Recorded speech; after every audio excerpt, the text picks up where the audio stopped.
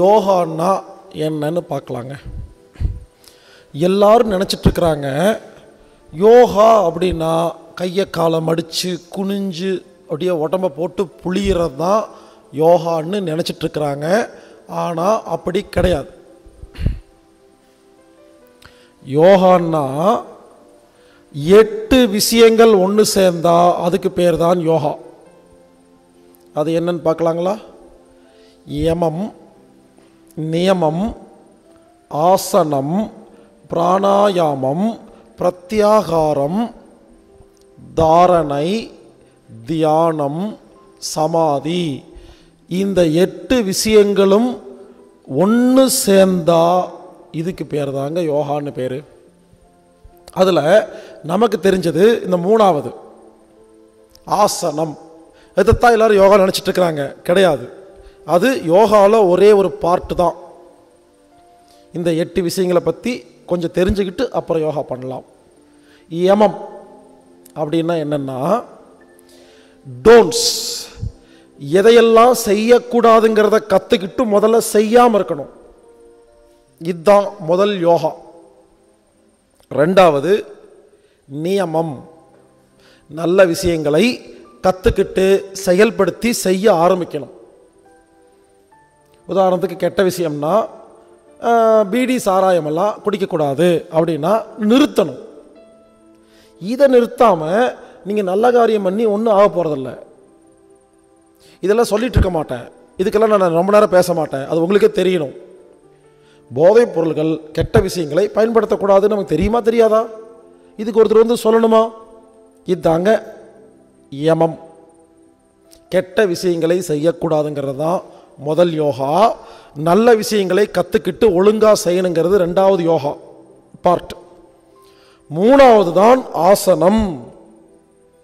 அந்த ஆசனம் செய்யறதுக்கு எக்ஸசைஸ் பண்ணி உடம்ப தேத்தணும். எடுத்தோன்னு ஆசனம் பண்ண முடியாது. நம்ம உடம்பு ஆசனம் பண்ணுறதுக்கு தயாராக இருக்காது. அப்போ பாடி எக்ஸசைஸ் லூசனிங் எக்ஸசைஸ் உடல் பயிற்சி எல்லாம் செஞ்சு முதல்ல உடற்பயிற்சி அப்புறம் தான் ஆசனம் பண்ண முடியும். இப்படி கெட்ட விஷயத்தை செய்யாமல் நிறுத்தி யமம் நல்ல விஷயத்தை செய்ய ஆரம்பிக்கிறது நியமம் ஆசனங்கள் செஞ்சு உடம்ப ரெடி பண்ணணும். சரிங்களா? அதுக்கப்புறம் பிராணாயாமம் அப்படின்னு மூச்சு பயிற்சிகள்லாம் செஞ்சு சூட்சமாக உடலை சரி பண்ணணும். முதல்ல ஸ்தூலம் உடம்புக்கு ஆசனம். உடம்புக்கு தெரியாத பிராண உடம்பு இருக்கு இல்லையா? கண்ணுக்கே தெரியாத அந்த உடம்பை ஒழுங்குபடுத்துகிற முறைக்கு பேர் தான் பிராணாயாமம். இதில் நிறையா மூச்சு பயிற்சிகள்லாம் இருக்குது. அதெல்லாம் செஞ்சு மூச்சு ரெடி பண்ணணும். அதுக்கப்புறம் பிரத்யாகாரம். பிரத்யாகாரம்னா என்னென்னா ஐந்து இந்திரியங்கள் இருக்கு இல்லைங்களா? கண் மூக்கு வாய் காது தோல். இந்த அஞ்சையும் சும்மா நிறுத்தி வச்சா பிரத்யாகாரம். அதை எப்படி நிறுத்தி வைக்கிறது? ஒரு காரில் போயிட்டுருக்குறோம் நம்ம யார் கூடயாவது ஜாலியாக பேசிட்டு போயிட்டுருக்கோன்னு வச்சுக்கோங்களேன். திடீர்னு ஒரு லாரிக்கார ஹார்ன் அடிக்கிறான். பேன் பேன் நமக்கு அதே கேட்கல சிரிச்சு ஜாலியாக பேசிட்டு இருக்கிறோம். லாரிக்காரன் தட்டுறான் யோ ஹார்ன் அடிக்கிறான் காது கேட்கல நம்ம நினைக்கிறோம். ஆமாம்ல காது கேட்கவே இல்லையே. ஏன் கேட்கல காது இருந்தும் கேட்கல இல்லை. காது பிரத்யாகாரத்துக்கு போயிடுச்சு நீங்கள் செக் பண்ணி பாருங்கள் பஸ்ஸில் போயிட்டுருப்போம். சத்தமாக டிவி ஓடிட்டுருக்கோம். ஹாரன் சவுண்டு நிறையா இருக்கும். நம்ம யார்கிட்டயாவது ஜாலியாக பேசிகிட்டு இருக்கும்போது முக்கியமான விஷயம் பேசிகிட்டு இருக்கும்போது பாருங்கள் இது எல்லாம் எதையுமே டிஸ்டர்ப் பண்ணாது. அரை மணி நேரம். அப்புறம் ஃபோனை வச்சுக்கிட்டு ஒரே டிஸ்டர்பன்ஸாக இருக்குது அப்படி சொல்கிறோமா இல்லையா? அப்போ அது வரைக்கும் ஏன் கேட்கல? புரிஞ்சுக்குங்க. அதாவது யமம் நியமம் ஆசனம் பிராணாயாமம் பிரத்யாகாரம். பிரத்யாகாரம்னா கண் இருக்கும் பார்க்காது. மூக்கு இருக்கும் வாசனை தெரியாது.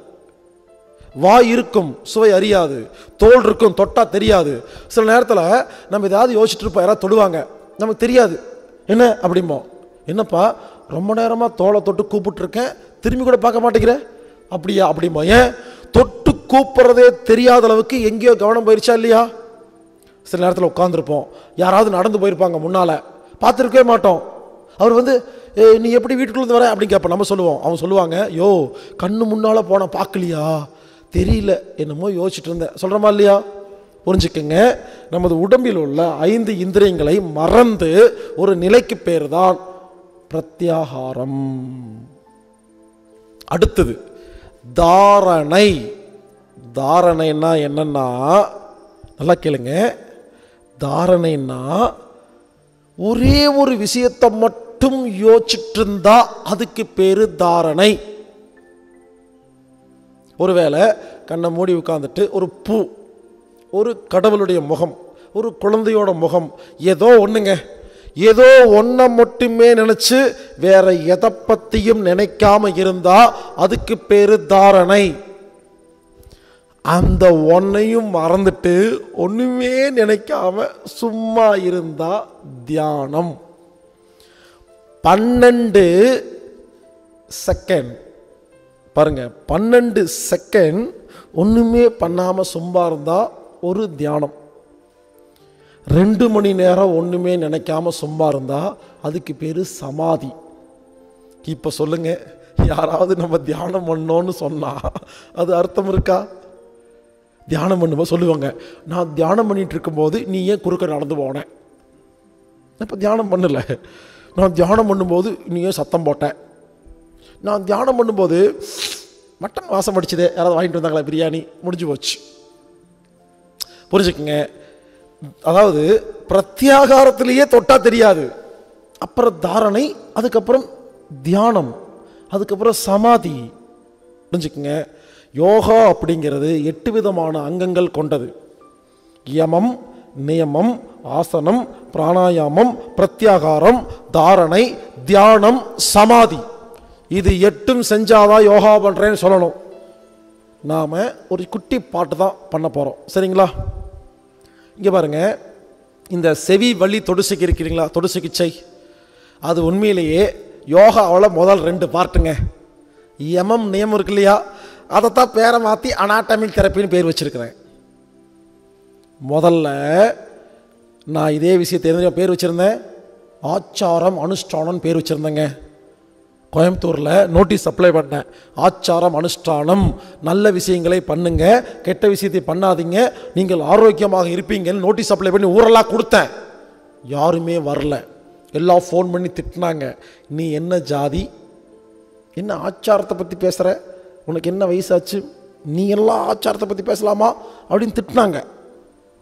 அப்புறம் பேரை மாற்றினேன் யமம் நியமம்னு வச்சேன். யாருமே வரல. இன்னும் யமம் அதை பார்த்து பயந்து ஓடிட்டாங்க. அப்புறம் தச மருந்துன்னு பேர் வச்சேன். தசமருந்து தயாரிக்கிறது எப்படி? உங்கள் உணவு அதாவது சமையல் ரூம் இருக்கிற பொருளை எடுத்து தச மருந்துன்னு ஒரு மருந்து கண்டுபிடிக்கிறேன். அதை செஞ்சு காமிப்பேன். அதை நீங்கள் சாப்பிட்டீங்கன்னா எல்லா வியாதி குணமாக வாங்கன்னு கூப்பிட்டு நம்ம டெக்னிக்கை சொல்லி கொடுத்தாங்க. அனாட்டமிக் தெரப்பிங்கிற செய்வழி தொழில் சிகிச்சையை. அப்போ யாரும் வரலிங்க? அப்புறம் பி பாசிட்டிவ் யோகான்னு செ- சென்டர் வச்சு யோகாலாம் சொல்லி கொடுத்தேன். யோகா பேசும்பொழுது குறுக்கு குறுக்க நடுவில் ஒரு ம ஒன்றரை மணி நேரம் யோகாவில் ஒரு மணி நேரம் யோகா அரை மணி நேரம் ஸ்பீச் கொடுத்தேன். டெய்லி கொஞ்சம் கொஞ்சமாக இன்சர்ட் பண்ணுவேன். அப்பவும் யார் வரலைங்க? இப்படி ரொம்ப வருஷமாக நடத்தி போண்டி ஆயிட்டேன். ஒன்றுமே இல்லாமல் போய் என்ன பண்ணுறதுன்னு தெரியாமல் காசெல்லாம் போய் எல்லாரும் என்னை திட்டு திட்டு திட்டி சும்மா உட்காந்துருந்தேங்க அப்போ ஒரு ஐடியா வந்துச்சு. ஒருத்தர் சொன்னார் நீ பாடி அனாட்டமியை பற்றி நிறையா பேசுகிறியா அதனால தான் யாரும் வரமாட்டேங்கிறாங்கன்னு சொன்னாருங்க. அப்போ ஒரு ஸ்பார்க் அடிச்சுது. அனாட்டமிக் தெரப்பின்னு பேர் வச்சேன். ஊரெல்லாம் நோட்டீஸ் அப்ளை பண்ணேன். அன்னைக்கு கூட்டம் கூட்டமாக வந்தாங்க மக்கள். எனக்கு ஒரே ஆச்சரியம். உட்காந்து கதை கதையாக கதை கதையாக இதெல்லாம் பேசி முடிச்சுட்டு கடைசியாக பேட்டி எடுத்தேன். ஏங்க இத்தனை வருஷமாக பேர் வச்சு நோட்டீஸ் கொடுக்கும்போது யாருமே வரலையே. இன்றைக்கி மட்டும் எதுக்குங்க இவ்வளோ கூட்டம்னு கேட்டேன். எல்லாரும் சொன்னாங்க அனாட்டமிக் தெரப்பின்னு ஒன்றுமே புரியல அதான் வந்தேன்னாங்க. ஒருவேளை கொரியன் மெத்தோடோ ஒருவேளை சைனீஸ் மெத்தடோ சும்மா தெரியாமல் வந்தாங்க நாங்கள் அப்புறம் தான் புரிஞ்சுது தெரிஞ்ச பாஷையில் பேர் வச்சா யாரும் வரமாட்டாங்கன்னு. இயற்கை வைத்தியம்னா வரல. யமம் நியமன்னா வரல. பாருங்க ஆச்சாரம் அனுஷ்டானம்னா வரல.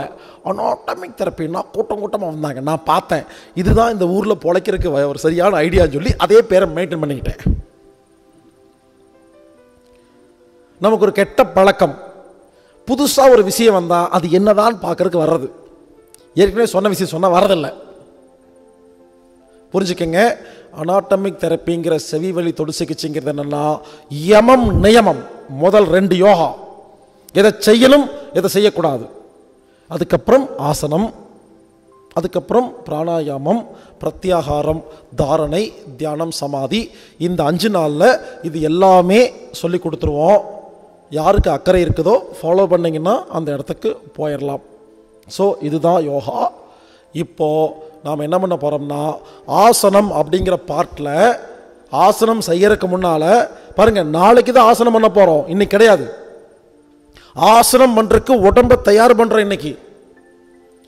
அதுக்கு என்ன பண்ண போகிறோம்னா நமது உடம்பில் ஒரு ஒம்பது ஜாயிண்ட் இருக்குங்க.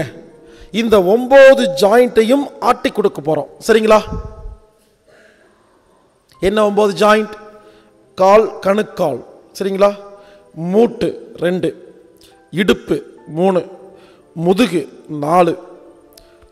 ஷோல்டர் எல்போ ஜாயிண்ட் கை மூட்டு. அப்புறம் கை மணிக்கட்டு கை விரல்கள் கழுத்து. ஒம்பது ஜாயிண்ட் இருக்கா?